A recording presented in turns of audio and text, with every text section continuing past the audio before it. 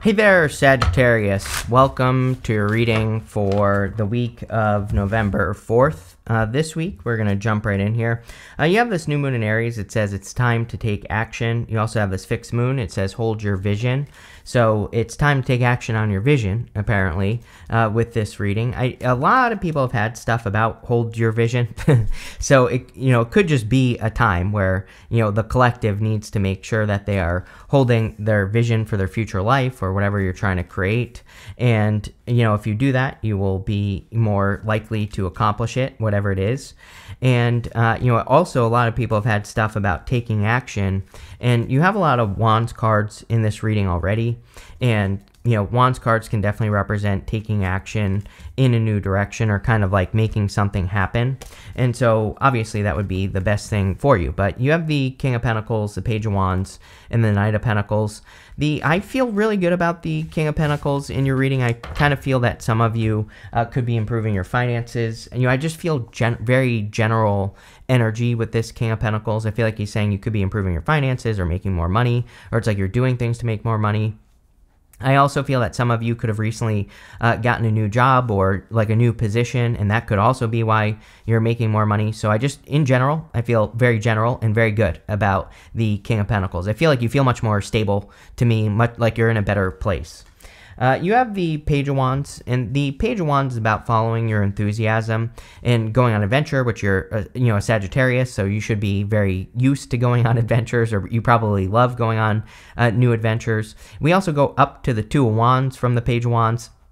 And the Two of Wands is all about, you know, exploring something new, and we'll talk about that in a minute. But the Page of Wands is really about learning something new. He has this tiny little feather in his cap here, and the feather in the cap uh, kind of represents is like a saying. You know, we say that if someone knows a lot about something, or if they're educated on something, they, they have like a feather in their cap. But his is kind of small. If we look at the Fool card, the Fool has a feather that's like this long in his cap, and so the Page of Wands kind of represents the beginning of a journey where you are getting a feather in your cap. You're like learning something new or um, you're developing a new skill or you're becoming more successful because of a skill. And i feel i feel that for a lot of you with this card. You also have the knight of pentacles the Knight of Pentacles can represent making progress and like forward movement. Uh, normally he represents no movement, but again, I feel pretty good about this Knight of Pentacles in your reading, and just based off of you know everything else that's coming up here, like you have the Six of Wands, you have the Magician, the Three of Wands, uh, the Two of Wands. These are all great cards of making progress or moving forward. So I feel a lot of you maybe think you're coming off of a period of time where things have been slow or haven't been moving forward, and now uh, it's like things are kind of like finally moving forward, is what this reading is saying to me. So I really uh, like this for you here, Sag. But uh, let's see. I didn't want to do that. uh, let's see what is going on for you. Uh, with the King of Pentacles, you have the Four Swords. Four Swords can represent resting, relaxing, recovering, or healing. And a lot of you, like I said, I feel like you're kind. I, I kind of said this on the King of Pentacles. I just feel that you're getting into a good place. Like even if you're not, I feel like you are getting to a good place, or you're about to be in a much better place where you can rest, relax, recover, which is a good thing. With the Page of Wands, you have the Knight of Cups. Uh, Knight of Cups can be a knight in shining armor, uh, so this could be love, but the Knight of Cups can also be your dream and or your vision. You know, he is normally looking into that cup and he is imagining his future, and he's standing in the desert, but he has this water flowing in front of him. The thing with the King of Cups is that all he has to do is plant seeds in front of that water and they will grow. So I feel for a lot of you, it's definitely would be a good time for you to like plant some seeds uh, towards your vision or whatever you're trying to create because they will grow with the Knight of Cups. With the Knight of Pentacles, you have the Judgment card, which you have twice. I haven't had a reading like this in a long time, but you, uh, where, or, you know, uh, what, what, I'm trying to say is like a week like this. A lot of people this week have had repeating cards, which is pretty unusual. It really doesn't happen that often. And repeating cards to me are kind of like confirmation from the universe. They also say that you're on the right path. But the Judgment card would represent kind of waking up to your purpose or uh, discovering a new purpose that you're making progress on, you know, with the Knight of Pentacles and also the Six of Wands showing up in the next row. Uh, this The Six of Wands is being celebrated or having a victory uh, based off of something that you're doing. So I feel like there definitely could be some sort of victory uh, coming in for you with the Judgment card. Uh, next, in the area of what's coming in for you, you have a snake spirit. Says time to heal. You also have this grasshopper. It says take the leap of faith. It's kind of funny that I said you know, the Fool, because the Fool is all about taking a leap of faith. And there's definitely something that I feel you're taking a leap of faith on. Four Swords, obviously, it's a great time to heal, but the Grasshopper is also considered very lucky. And so there could be kind of like a lucky opportunity coming in for you, or taking a leap of faith in a new direction uh, could be the thing that increases your luck. And th- that's really the message that I'm getting off of the Grasshopper is that putting yourself in a new situation or uh, taking advantage of new opportunities is going to make you lucky. Uh, you have the two of wands, the six of wands, and the king of wands. The two of wands is needing to get out into the world. The story of this card is that he's standing at the top of his castle and he's looking at things from a very limited perspective. Uh, he's also staying stuck in a comfort zone, but he has the whole world in his hands. And so he needs to get out into the world uh, to make progress towards his goal, wish, or dream. You know, the thing about the two wands, it's not really a bad card. It's a card of taking lead, it's a card of progress. Uh, you know, can be a card of foresight, kind of like the three of wands is. But he, um, you know, he still needs to, you know, he thinks that he knows everything. And because he rushed to a finish line, so he thinks there's nothing more or nothing new for him to experience, but he needs to realize that life is full of experiences that he could have. And so the two wands sometimes I think says variety is the spice of life. You need to get out and experience new things. Uh, you have the Six of Wands. Six of Wands can be a card of success or victory. I do feel like there could be like a big victory coming in for you or a big win. Um, again, part of me feels this is because maybe you just feel that you're in a better place, like we said with the King of Pentacles. But this guy is being celebrated for what he has done. And, you know, he's earned his right to be on this horse. This horse is his high horse, and he's earned his right to be up there because he's been through a battle. You know, the story of this card is that this guy has been to battle, and now he's coming back and being celebrated as a winner, but he's been through a lot of challenges, and, you know, he's had to face a lot of difficulties in, on his journey, but now he's finally being celebrated. The other thing that's popping into my head is the white horses in the tarot can represent support or getting support from people in your life or, you know, uh, just certain situations. And so I feel for a lot of you that asking for support or getting support from supportive people would be a good idea. Uh, you have the King of Wands. The King of Wands could be you uh, showing up here, even though, you know, the King of Wands normally is Aries, but still, I, I think that the King of Wands could just be you showing up in this reading and showing up in a strong position because you are a fire sign.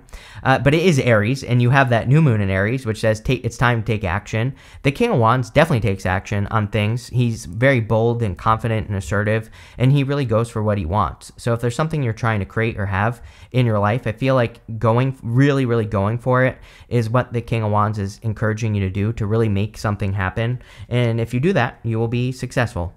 With the Two of Wands, you have the Nine of Swords. Yeah, like uh, Nine of Swords is fearing repeating a cycle. So the Two of Wands can say that you are thinking that if you start something new, that it's just going to happen, you know, things are going to go exactly how they went the last time. And the Knight of Swords says you need to get out of your head and realize that things don't are not always going to go how you think they're going to go. So you know, the not, I, I just feel this is more of like a fear that you're going to repeat a mistake. Eh, you know, if you try something again. But I feel like that two of sword, two wand, sorry, is uh, kind of encouraging you to take another chance. You know, it's almost like it is almost like this is a second chance reading. You even have the judgment card at the end, and the judgment card can represent an, a second chance or like a rebirth, but it can say that you're trying something again. So I think that this is saying you're getting an opportunity to try something again. Can't make this up. With the six of wands, you have the two of swords. I literally almost just said the two of swords on that two of wands. So I feel for a lot of you that definitely finding other ways of doing things. Something is not going to go how you think, is really what I feel. You go two of swords to the eight of swords uh, right here going this way. And so the Two of Swords, she is thinking this or that. She is thinking that something that she's about to do is going to go this way or that way. But she has this new island behind her, and that new island behind her kind of represents a third place or a third place solution or a different way of doing things. So I feel like you need to realize that um, things are not necessarily going to go how you think. Things might go better than you think, or things might turn out completely different. So if you are kind of starting over, or if you feel like you're starting something again, things might not go according to plan. But again, it actually kind of looks like that's a good thing. It might turn out better than you think. Uh, with the King of Wands, you have the Three of Wands again, so you have all these repeating cards here. You have the Three of Wands twice. The, the King of Wands, he is the visionary eh, of the kings. He kind of has visionary ideas.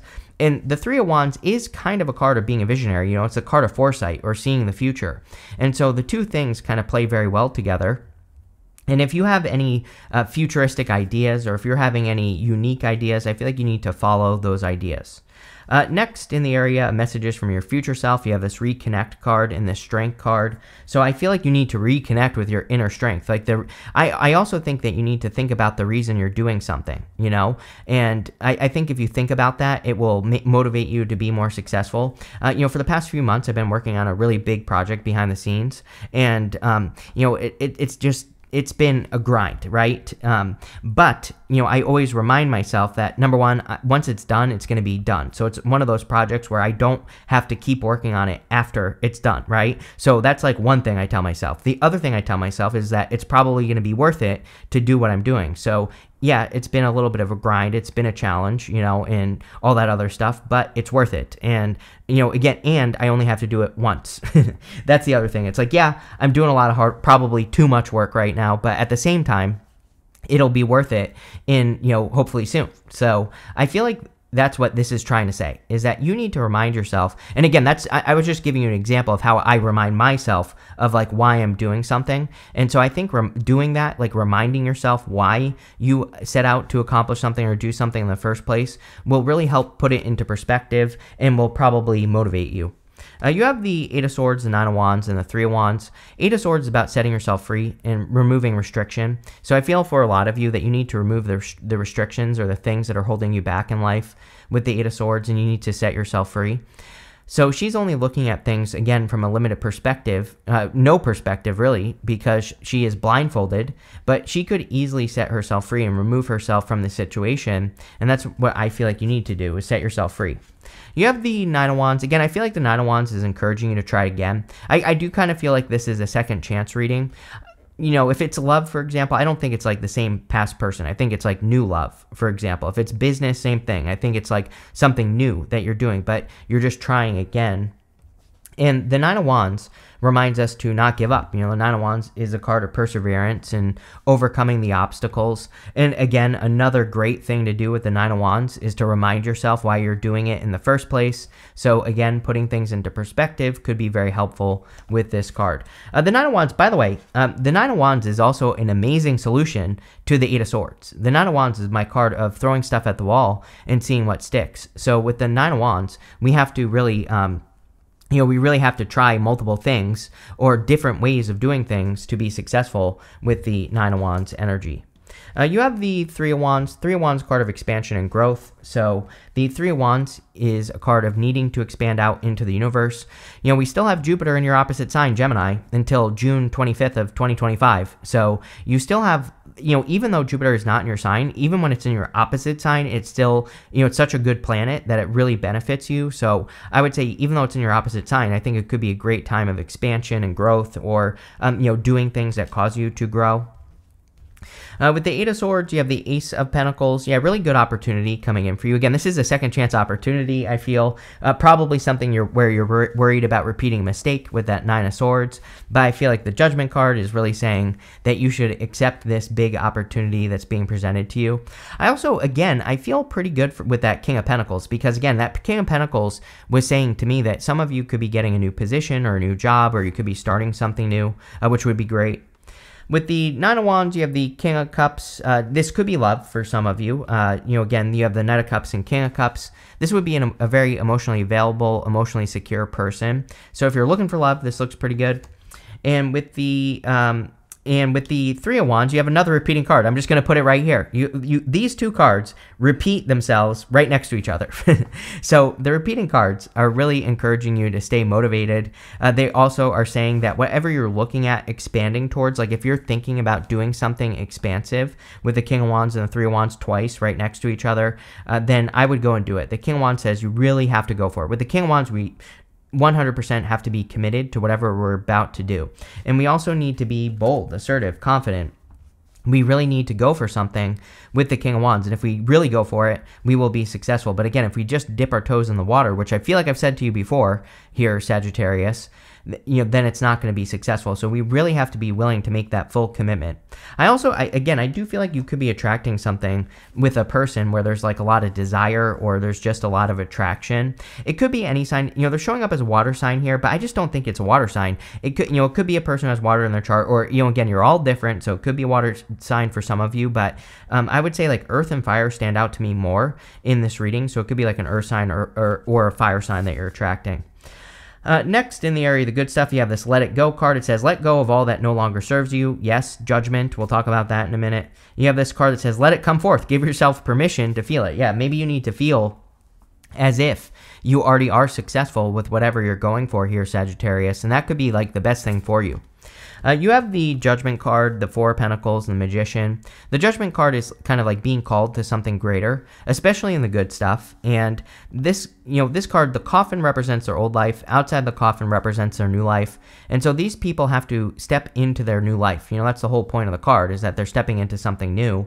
And I think that would be very helpful for you is like stepping into a new opportunity or new beginning or a fresh start. And that's exactly what I would do. Like I said, with this card, I think it would be very helpful. Uh, I also feel that you're being called to give something a second chance, but again, it's not the same opportunity. So I think the second chance here is something similar. You know, it's if it's love, it's not a past person. I think it's a new person, but you're giving love a second chance. If it's business, same thing. It's not like an old job. I think it's probably something new that's maybe a little bit different, uh, but it's like you're giving something a second chance here. And, you know, I, I, I pretty much felt that this entire reading. Uh, you have the Four Pentacles. I feel really good about the Four Pentacles in the good stuff. Normally, I don't really like the Four Pentacles, but in the good stuff, it would say that you're stabilizing your finances. But I also feel like you're getting back to your oh, like adventurous self. You know, the Four Pentacles, he is not adventurous. He is holding on to his current position. But in the good stuff, I feel this is saying that you're more you're in a position where you are more willing to try new things or to do things differently, or maybe you're just getting to a place where you're more willing to explore. And I think all that would be amazing with this Four Pentacles energy. Uh, you have the Magician. And again, the magician can represent you manifesting something new or creating something new in your life. Uh, the magician is about creating a new reality, and it's about having, uh, you know, kind of like having a fresh start or a new start. So it that's pretty much all I get off the magician. I think you're just having a fresh start. With the Judgment card, you have the Two of Wands. Again, this is crazy. Uh, again, this this normally does not happen. Again, uh, repeating cards do not come up all that often. And you have th these two repeating, so again, just more confirmation for your path. This would really encourage you to step out into the unknown. You know, this would really encourage you to do something unique or different with your life. Uh, with the Four of Pentacles, you have the Temperance card, uh, which is you. And for some reason, I thought you had the Temperance card twice. No, you have the Judgment card twice, though. But temperance is Sagittarius, and whenever you show up as yourself, this puts you in a position of power and strength, really allows you to get what you want from the reading. So I feel that there could be a lot of success coming in for you with the temperance card. Uh, I also feel that for a lot of you, um, this could be saying that your your like hard work is paying off is kind of what I'm getting. Temperance is a card of patience, but it's kind of saying to me that you have been patient and now you're getting a result on based off of whatever you've been patient towards. With the Magician, you have the Chariot. Yes, definitely a victory coming in for you or a big win. Uh, I forgot that I always pull the card that the Magician is pointing to. We're going to say it's this one right here. And this card says adjustments are required. Yes, uh, I think that no, no matter what, this is true for everyone on Earth right now. If you're setting out to do something, like the first and the second way that you try to do something, it's probably not going to work. So we just have to be willing to make changes. And, and don't let that th- make you think that you're failing. You know, if you're working on a project or a relationship, it's like you might want things to go a certain way, but you know, really, if, as long as you make an adjustment and it continues to work, then keep going. You know, I, I think this card is really just we're, we're in a time of innovation. We have Pluto going into Aquarius and on the 19th of November. So, you know, how we think something is going to go, it's probably not. And, but as long as we stay flexible, we can still make it work. And, you know, I think that's what that card is saying. Uh, you have this drama card.